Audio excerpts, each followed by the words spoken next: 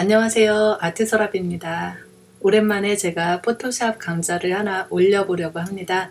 오늘 만들어 볼 영상은 포스터인데요. toolbox와 layer 스타일을 이용해서 한번 만들어 보도록 하겠습니다. 포토샵 기능을 다양하게 사용할 줄 모르셔도 만들 수 있다는 이야기입니다. 포스터의 완성 과정은 3강에 걸쳐서 만들어 보도록 하겠습니다. 이건 닫아줄게요. 먼저 컨트롤 N을 눌러서 음, 파일명은 날짜를 앞에 쓰시는 분도 있고 뒤쪽에 쓰시는 분도 있는데 저는 파일이 좀 많아서 뒤쪽에 쓰는 방법을 선택하겠습니다. 파일명을 써주시고 768에 1024 72 OK 하겠습니다. 컨트롤 S 눌러서 한번 저장해 주겠습니다. layer 창 하단에 있는 플러스 버튼 누르면 layer가 하나 생성이 되죠. shape tool을 눌러서 ellipse tool로 동그라미 하나 그려주겠습니다. 적당히 가운데쯤에 Shift 키를 눌러주세요. 그래야 정원이 되겠죠? 위쪽에 fill 옵션을 없음으로 해주시고 테두리를 색상을 넣어줄게요. 색상 크기를 조금 키우겠습니다. 그리고 이동 tool에 놓으시면 이렇게 원이 하나 만들어졌고요. layer 하나 생성해 주시고요. 위쪽에 선택 tool로 동그라미 Shift 눌러서 하나 그려주시고요. 색상을 칠해주겠습니다. toolbox에 페인트 통 갖다가 이렇게 부으셔도 되고요. 아니면 Alt, Delete 하셔도 됩니다. 이동 툴에 놓으시고 Alt를 누르면 이렇게 복사할 수 있게 커서가 두 개가 뜨죠. 이거를 끌어서 옆으로 당깁니다. Shift를 누르면 항상 똑바로 가는 거예요. 그래서 하나 복사했고 다시 또 복사하고 다시 또 Shift 누른 상태에서 Alt가 복사고요. Shift를 누르면 똑바로 내리는 거예요. 그래서 이렇게 적당히 하나를 만들었습니다. 이거를 합쳐주겠습니다. 맨 아래 거 클릭하시고 Shift 키 누른 상태에서 위에 거 클릭하시면 되고요. 컨트롤 E로 합치겠습니다. 그리고 다시 복사하기 위해서 Alt, Shift 키 누르면서 옆으로 똑바로 가겠습니다. 그리고 컨트롤 T를 누르시면 축소 확대가 떠요.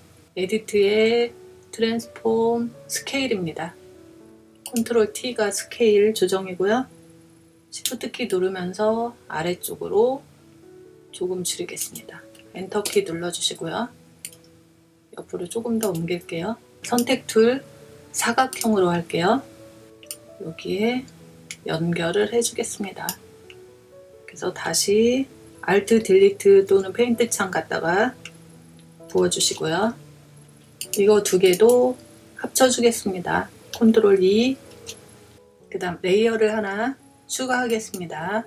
지금 그려져 있는 이 layer에 바로 그려도 되지만 layer를 추가한 이유는 혹시 모를 수정을 위해서입니다.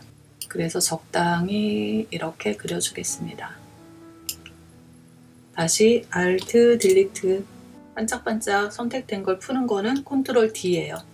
단축키를 외우시면서 작업을 하시면 훨씬 좋고요. 이렇게 움직여지죠? 이렇게 붙여줄게요. layer 하나 추가하시고 하나 그려줄게요. 네모 Alt, Delete 컨트롤 D로 풀어주시고 다 같은 작업이죠? 또 복사 돌려줄게요. 컨트롤 T 하면 이렇게 떠요. 이렇게 돌려줄게요.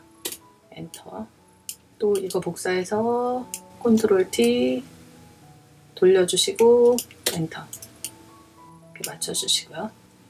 이렇게 원하는 layer를 바로 집어서 이렇게 옮길 수 있는 기능은 창 위쪽에 보시면 auto select라고 있어요. 여기에서 layer에 놓으시고 auto select 체크하시면 이렇게 클릭하시면 layer가 그 클릭한 곳에 layer로 이렇게 갑니다. 이렇게요. 여기 손잡이 하나 만들어 볼게요. 요 가운데 거를 복사하겠습니다. Alt 복사 컨트롤 T 줄여줄게요. 작게 이거 하나 복사할게요. 이렇게 컨트롤 T 눌러서 이렇게 해서 손잡이 하나 만들겠습니다. 그래서 여기 끝에서 Shift 키 누르고 맨 아래 layer 클릭하신 다음에 컨트롤 E로 다시 묶어주시고요. 영상 나가는 부분 layer 하나 추가했고요. 선택 tool로 해주시고 Alt Delete 컨트롤 D 풀어주시고 그리고 lasso tool로 어, 처음 사용하시는 분들은 이거 꺾기 모양으로 하셔도 되겠네요. 클릭, 클릭, Shift 키 누르면 똑바로 내려오고요. 또 클릭, 동그라미가 옆에 조그맣게 뜨는 거 보이시죠? 이렇게 뜬 다음에 클릭하시면 이렇게 됩니다. Alt Delete 그래서 영상이 모양이 완성되었고요. 이거 두 개를 클릭해서 컨트롤 E로 합쳐주겠습니다. 가운데로 끌어가시고요.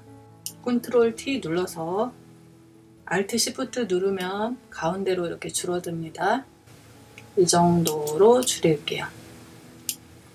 엔터키 누르겠습니다. 오늘은 여기까지고요. 물론 이런 영상이 사진은 인터넷에 많이 나와 있어서 퍼다가 사용하실 수도 있습니다. 그러나 toolbox 사용을 매끄럽게 하기 위해서 한번 그려보시는 것이 좋을 것이라고 생각됩니다. 다음 강좌에도 이어서 포스터를 계속 만들어 보도록 하겠습니다. 감사합니다.